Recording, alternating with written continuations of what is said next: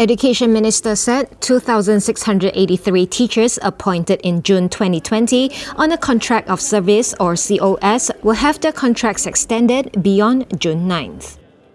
In a statement on Saturday, Dr. Radzi Jidin said this was confirmed after the ministry received verification from the Education Services Commission and that the move is consistent with his previous statement that the ministry will do its best in finding solution for contract teachers. The teachers' contracts were slated to end on June 9th this year. Earlier this month, Radzi Jidin said this matter would be given due attention and resolved immediately. He said the fate of 2,600 COS teachers appointed in the June 2020 intake will be resolved when their contracts are expected to be extended for two years.